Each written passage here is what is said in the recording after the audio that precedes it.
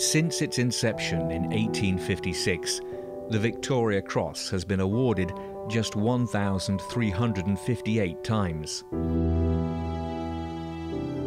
Its material worth is deliberately negligible. What it represents, priceless.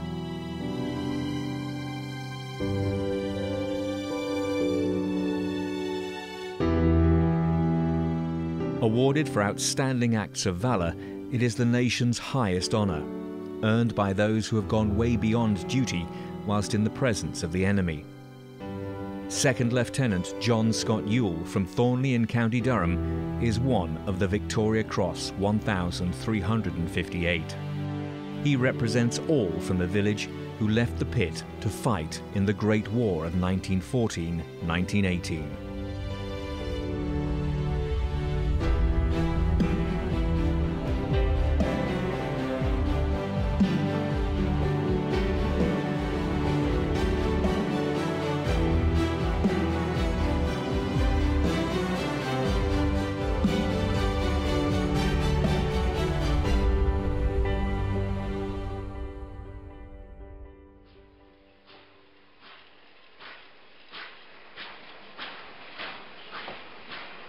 The world that John Scott Youll was born into was one of hard work, dominated by coal and the industry surrounding the pit. Families from across the country had migrated to the Durham coalfields in the 19th century, lured by the opportunity of work. The sinkers came up from Cornwall. They came from all over because they knew the, uh, when there was a new pit opening, they knew straight away we are going to have a job and we're going to have a house we want to have money in our pockets. And, and what they did, the management, they put a big ox on a spit down outside the Colliery Inn. And that was on, and they, they had free meat and they had plenty of beer, just so everybody signed up and they got half a crown. And that, that was it, that was your bond. You were stuck at that pit then for, for, for the next 12 months. You weren't guaranteed a full, full week's wages them years because the collieries, they used to blow the buzzer and there was a lot of days when they wouldn't be working. Trying to live through that and trying to work through that and raise a family with that and with everything hanging over the heads with regard to injuries, ill health, whatever, and, and trying to feed the family and kids. Hard work, hard work. In the summer of 1914, these men and their families were presented with an opportunity, a way to break the cycle of shifts and backbreaking toil. The declaration of war meant that fit, strong men were desperately needed to swell the ranks of Great Britain's small colonial-sized army. The Royal Navy was the traditional strong arm of government policy. However, the situation in 1914 meant that ground troops were urgently required. And so, Lord Kitchener's Citizen Army of Volunteers was created. This call was answered by the men of Thornley and thousands of others across the country. Patriotism and being seen to do your bit were perhaps not the only considerations. They joined up, they went on, uh, to the army for the fight in World War One because they were, they were guaranteed a wage every week to send home to their wife and family. They got a suit, they, they got a, a, a top court. They loved the top courts. It was perhaps a change for them to get out and see some green grass and, and trees and, and, a trip to France and see all the ladies over there. But these these fellas were they, they weren't just a silly miner or a dumb miner. They were hard-working, skillful fellas. And they worked together, and everybody looked after each other. They did. It was fantastic and the camaraderie was uh, absolutely wonderful, you know. But as I say, uh, real hard work, but as George says, they were skilled men. I, I always thought that a man that, uh, in hindsight, what we know in hindsight, is, is the guy who joined up to go to the trenches and, and whatever, and up there, there, wherever, in mud and so on and stuff, uh, and leave the family and kids at home a shill, what was the shilling a day? That's that what they got? got? in the First World War. Uh, the, there's got to be something more than just a job. My own view is it's king and country. Um, good men, good men. patriotic men. At the outbreak of the war, John Youll, known as Jack to family, friends, and workmates, was just 17 years old. He'd studied at Thornley Council School, taken technical classes in nearby Wingate, and was working as an electrician at Thornley Colliery with numerous responsibilities.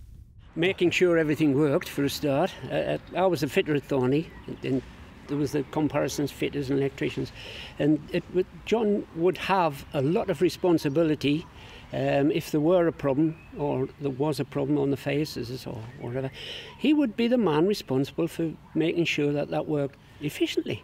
And if he, if he didn't or he couldn't, there was trouble. The electricians, they had a little gear bag in my time, he'll tell you, and they would, their, their overalls was lovely and clean. They, they never got their overalls dirty. They were the bee's knees at the quarry, you know, where me, I was a blacksmith, I was a shaft man, I was a grease slick, me, you know, filthy, rotten, dirty up the house of grace all the time. The electricians didn't get dirty. They were the bee's knees. What you, George? No, they thought they were, Bill, but fitters were. Oh, yes. Because they always used to say, electrician is a blacksmith with his braids kicked out. The camaraderie and the friendly rivalry of those that worked in the County Durham collieries survived down the decades until the last pit was finally closed in 1993. In late 1914, it must have been difficult for John Youll saying goodbye to his friends and workmates who left to join Kitchener's new army. Perhaps these farewells were sweetened by the popular belief that it would all be over by Christmas. As 1914 rolled into 1915, the time came for John to say farewell to his family. He ends up in the Durham Engineers, a territorial force. So he end, went abroad as a sapper after he'd done his initial training in the UK. He went to the Western Front. Despite his youth, John was quickly identified as a capable leader. Well, he'd seen his potential when he was in the engineers as a potential officer, and he was sent back to do officer training and then posted to the Northumberland Fusiliers. First Battalion and then he was posted with the 11th Battalion in France and was mentioned in dispatches in, in the hard fighting of Polygon Wood. He's among it all, right at the front.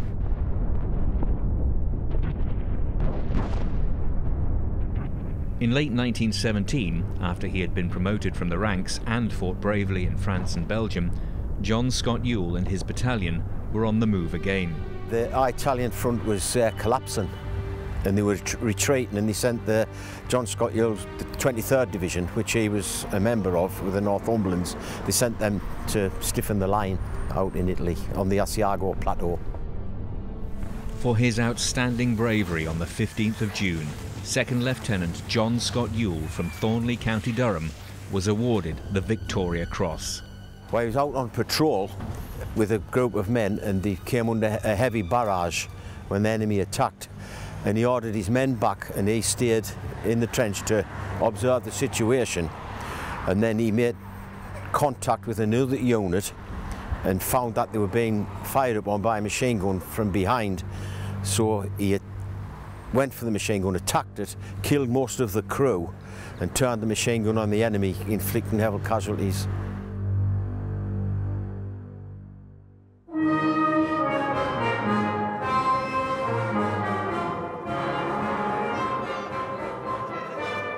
In September 1918, John returned to England to receive his medal from the King at Buckingham Palace, and then home to Thornley to be applauded by his friends and neighbours. It was in the Hippodrome, the theatre, and they awarded him with a, cigarette case and a watch inscribed with the initials GSY. And um, the watch is still in the Northumberland Fusiliers Museum. The local newspapers carried news of the hero's return and of how he had not only been honoured by the King of England with the Victoria Cross, but also by the King of Italy with the Italian Silver Medal for military valour. Addressing the crowd in the Thornley Hippodrome, John's words reflected his unpretentious character. Basically, he said that he was honoured, but he hoped that the people would give the other lads the same welcome home as he's received. He was very modest. With the ribbons of the Victoria Cross and the Italian silver medal pinned to his tunic, John Scott Youll returned to the Italian front in the early autumn of 1918. Unbeknown to him and to those that had celebrated his outstanding achievements, the fighting of the war to end all wars would be over in just a few weeks. When the news finally broke and the guns fell silent, the church bells rang out across County Durham. In Thornley and elsewhere across Europe and beyond, people reflected on what they had lost and on how the fortunate would soon be returning home.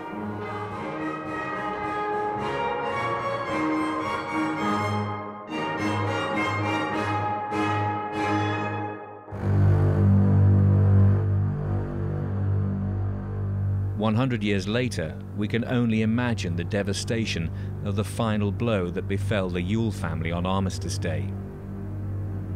As the rest of the world sighed with relief, a telegram arrived.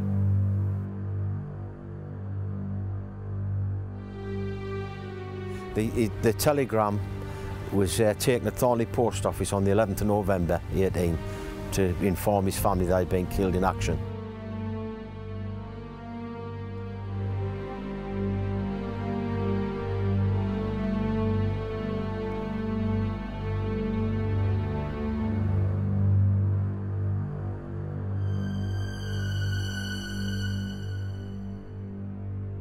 Killed on the um, Battle of the Piave. I think it was about 14, 15 days before the war finished. He's only 21 year old.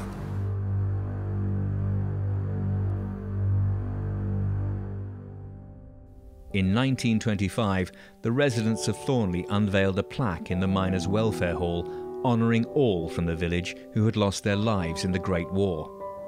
Ironically, the hall burnt down in 1944 during the 20th century's second global conflict. Ensuring that the fallen of both world wars and of other conflicts should never be forgotten, a magnificent new memorial wall was unveiled in May 1959.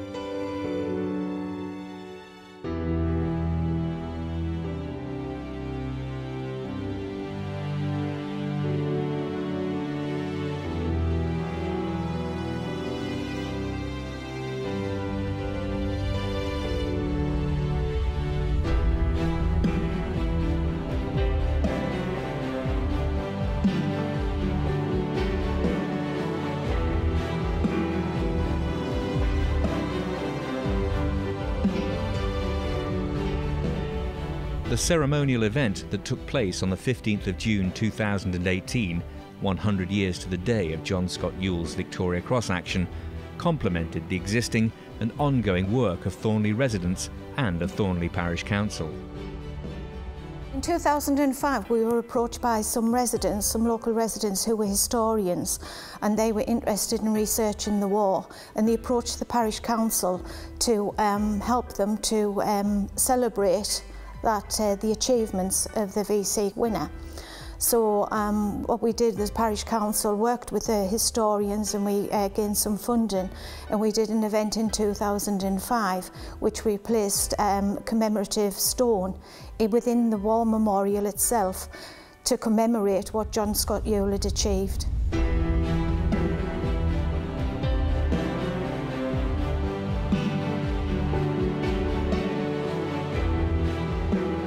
Looking back, the pride that the village took in commemorating what he'd done. Things like that are really important, the lifetime achievements, and it's, it's really, it's brought Thornley out into the world to recognise us where we have really some of our residents, in particular John Scott Youll in this case, has achieved something fantastic. The village has changed a lot. When I was a child, everything was black, and now everywhere is green. The history is very important to keep looking back and bringing these things out to school children, and that's that they see how the village was, where it grew out of the mines, and what it's like now. And basically, the parish council would like to move forward and show people, like through the history, where we come from and where we are now. It would have been a pleasure to have met the man, you know. That's all you can say. He was a hero. His name should live forevermore. Mhm. Simple as that.